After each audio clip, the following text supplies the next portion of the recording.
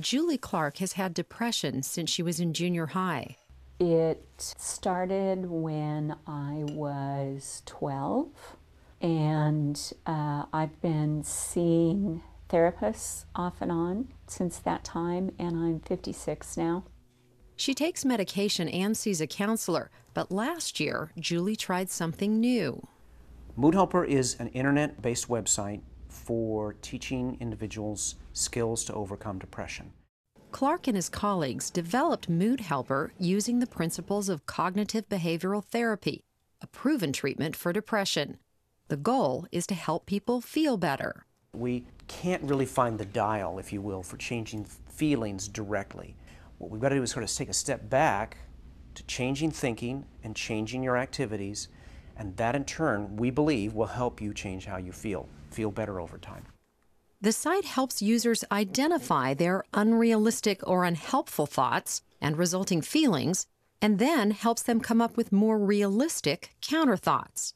The other thing in Mood Helper is there's a list of about 300 activities to do.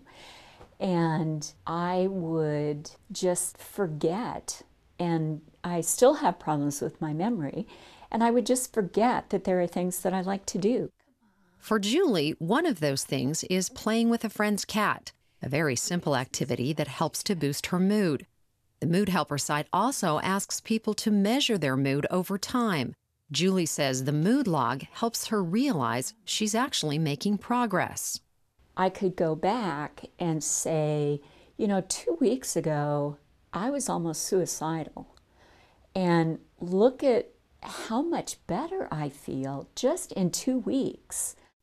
Mood Helper is not meant to take the place of in person therapy, but aims to fill in the gaps in between sessions. Kirby McCurtis was diagnosed with seasonal affective disorder after moving to Oregon from California. She's looking for a counselor, but in the meantime, she's enrolled in a study testing the website along with telephone counseling.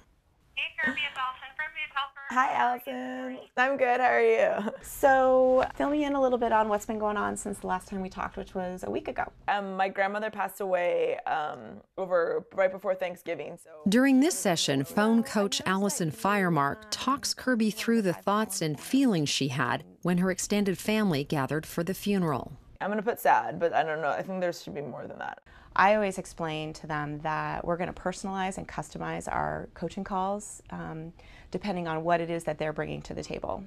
Firemark says some people need help learning the tools on the website, That's great, yeah. others need encouragement and support. Do you see, Kirby, how your belief here, it's not unrealistic. It actually is the truth, Yeah. right? Yeah. However, it's, it actually isn't very productive. Right. It isn't, help, it isn't really helping you feel any better. Right.